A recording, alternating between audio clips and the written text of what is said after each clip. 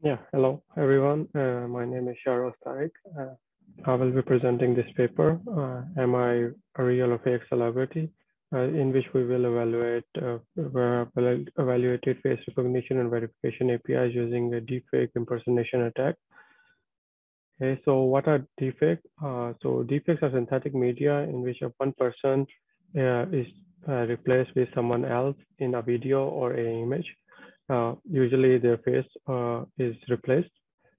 And uh, so for the motivation of this work, deepfake is uh, uh, we are actually evaluating different face verification APIs. Uh, so face verification APIs are used in different applications.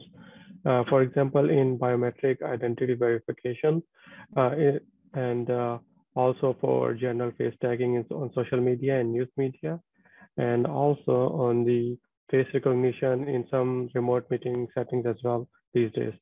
So in all those scenarios, if a person can impersonate someone else using deepfake methods, then they can actually bypass biometric identity verifications or uh, a person could be, a victim could be uh, tagged in a image which he does not belong to. And also you can fake an uh, exam in a remote meeting setting as well using a deepfake.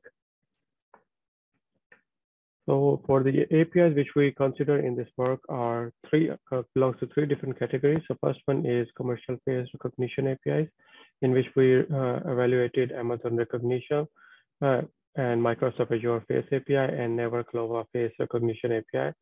And uh, so we use the celebrity recognition API demo uh, from these uh, APIs just for proof of concept. And uh, also we used uh, a commercial face verification API. Uh, so it's different than recognition API. Uh, we use Face++.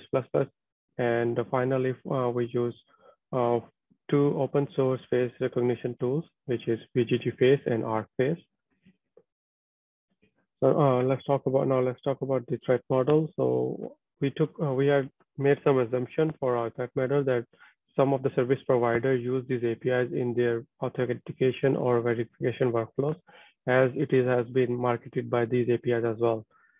So for the attack setting, uh, what the attacker does is he, uh, the attacker gets some photos of the victim and he uses the deepfake generation method uh, to generate some uh, deepfake uh, photos or videos of the victim. And then uh, upon attack on these APIs, and these APIs actually recognize the deepfake images or the videos of the victim as real uh, photos or videos of those victims.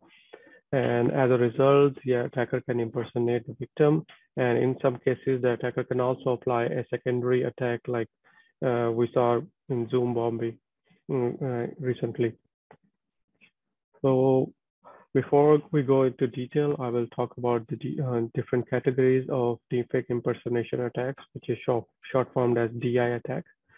So we can, first we can do face replacement in which some part of the face, like lips or eyes or the entire face can be swapped with the victim face in a target video, like shown here. And uh, the second category is facial reenactment, in which we take the victim's photo or a small video of the victim, and then we use another driver video and try to uh, use that driver video to uh, uh, drive the expressions, gaze and mouth pose, all those things in the victim video. And finally, we take uh, the facial synthesis category where we take two sources. One is a victim's face or video, and the other one is a target image. And we uh, we use the uh, different blending methods and GAN-based methods to actually combine these two together to make a synthetic victim lookalike uh, identity, like shown here in the example. So, uh, so for this, uh, we use uh, different benchmark data sets. So we, so we made uh, two benchmark data sets, one, uh, one for each category. for example, we use facial, for facial synthesis, we made SLAP blood blend data set. And for facial reenactment, we made a slab form FOM data set. And uh, we also collected a facial replacement data set from online sources on the internet. And uh, also we use two standard benchmark data sets, which is Celeb-DF and VoxCeleb-TH. Links for all of them are provided on our GitHub page. Uh, so for the methodology, let's first start with the definition of the deepfake impersonation attack. Uh, so uh, give, if we are given a reference image, we can think of it as a victim image and then a target image, which we want the victim to be replaced in. And we have a deepfake generation method app. Then we, it is possible to create a deepfake image uh, of the victim uh, using this uh, method, using this formula, where theta is actually the set of values of for all the parameters which belongs which belongs to the function f given some deepfake generation method. And uh, L is the loss function, uh, which is to minimize some distance matrix of P over the function. So uh, next, oh, for the evaluation, we used different matrices. So first is the evaluation of the attacks, which is targeted and untargeted attacks. Um, so untargeted is mentioned in the appendix of the paper, so we are not mentioning here in the presentation. Uh, so for the targeted attack, uh, what we are trying to achieve is if the deepfake of the victim is recognized as real by the API, then we consider it as a successful targeted attack as shown by this formula here. And uh, uh, next we use three different evaluation matrices. I will go into more detail about them later as well, but I'll give a small uh, uh detail, small introduction of what they mean as that so deepfake with high confidence means that uh, if there is a successful attack, then in that case, what is the prediction score for that uh, by the API? So if the prediction score is above beta, which is which we consider 80, 80%, uh, if the prediction score is above 80, then we consider that the deepfake is predicted with high confidence. And and the next one is uh, deepfake with high similarity. So in this case, if the uh, API did not predicted the uh, and the deepfake as uh, real, but the similarity between real and deepfake is quite high, which we use a similarity. So these API also have similarity methods to, to compare two images and see how much similar they are.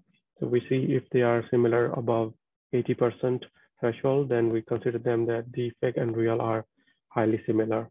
And the third one is about successful impersonation of celebrities, because we were considering mostly celebrities in this case. Uh, so in the, this is just giving a general overview of how many celebrities uh, we attacked and how many were actually uh, successfully impersonated.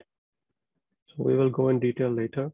So this is our uh, deepfake, uh, impersonation attack pipeline. Uh, we can see a tag data set, and then we have commercial APIs, and then we compare the matrices. Next, uh, we uh, I'll showed you the experiment uh, settings, uh, and this is the data set statistics. We use five different data sets, around 8,000 videos belonging to around 340 or 339 celebrities, and uh, the racial distribution is mostly of the were white celebrities, and the next is East, East Asian, then Black, then Hispanic, then South Asian, and then multiracial. Uh, so the, this is the summary of the results for the targeted and non-targeted attack. So for the targeted attack was more successful against the Face++ API, uh, we should note that the face API is a face verification API, not the face recognition API. So this finding is very critical that this attack is so much successful against this API.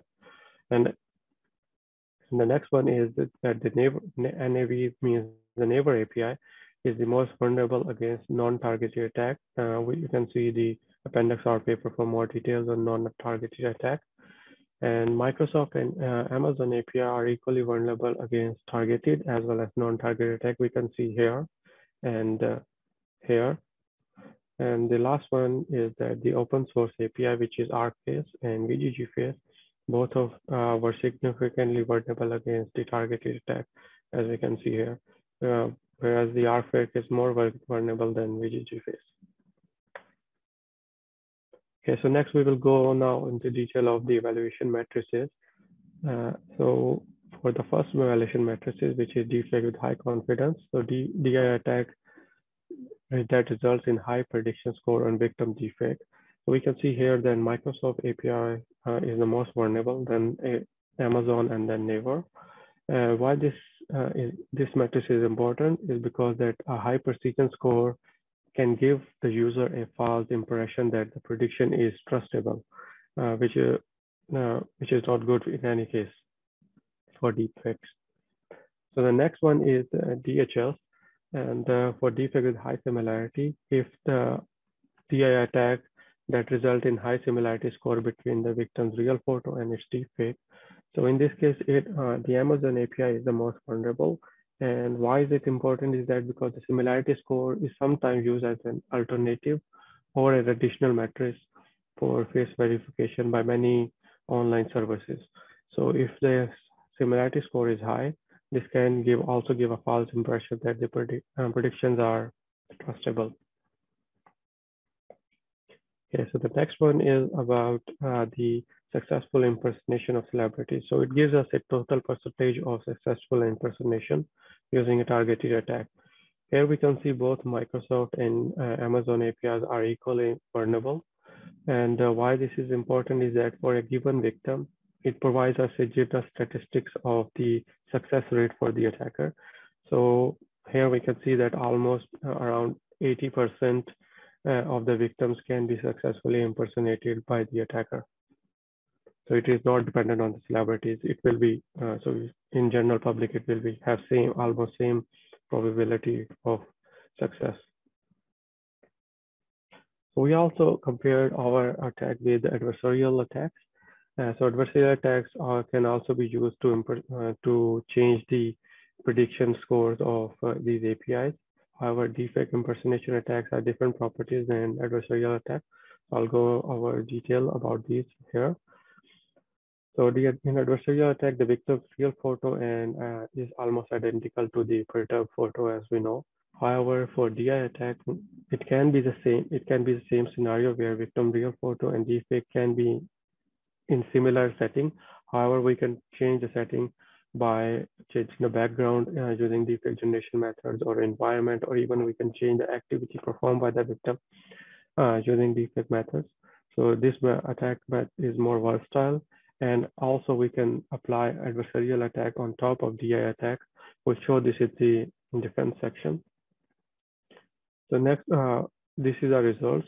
And we can see here that the DI attacks is more, uh, is better than transfer uh, adversarial attack. Uh, however, it is not that good uh, as the genetic adversarial attack, but genetic adversarial attack takes longer to generate. So next we will go into the defense setting. So we, uh, we applied three different types of defense.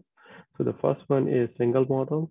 Second one is a sim simple combination. And third is uh, deep stacking ensemble. So single model is we just apply a single deepfake detection model. We, we actually make a defense method where we put our deepfake detector on top of these APIs as a wrapper so that the, that the input first goes to the detector and then goes to the API. So it could be single model or it uh, in the simple combination, we check if all of them says it's not it's real, then we consider it as a real, otherwise we consider it as fake. And the third one is a non-linear combination where we give all of these API, uh, all of these uh, methods to a non-linear combination and we decide based on the deep stacking ensembles result, whether it's real or deepfake. So with a general deepfake detection training, this is how it's done that we have real and fakes and we give it to a deepfake detector. Uh, the training is done. And once the training is finished, the deepfake detector labels it as real or fake. It's just a two class classification problem. So based on this, we uh, we have the uh, we develop our defense and the results are like are shown in this table. Uh, so for the deepfake detector, if we just apply deepfake detector on top of the, uh, as a wrapper on top of the APIs, we can actually reduce the attack success rate to almost like 0% uh, or very close to zero. However, we saw that if we just uh, attack the, these detectors using adversarial attacks, then the attack success rate goes back to almost the same level as it, as it was before the defense uh, as it is shown here in this box. Uh, so what we did is we applied adversarial training. So if we try, if we apply adversarial training, we can achieve uh, closer to uh, the de uh, defense without a, uh, adversarial attack, but not that close. So this can be considered as the best performance because it is handling adversarial attacks as well.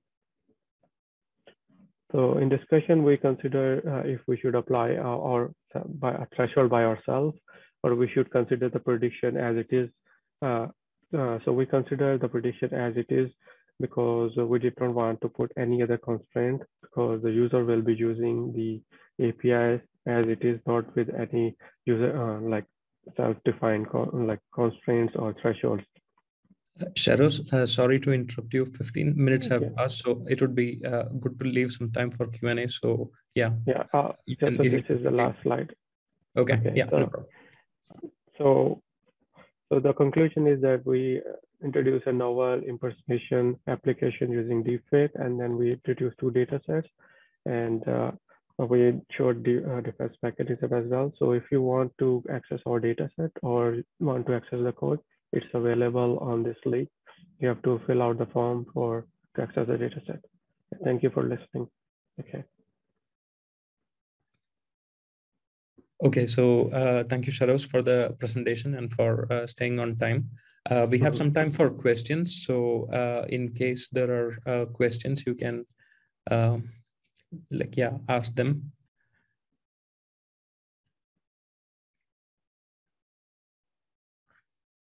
Okay, uh, Andrew Boward has a question. So.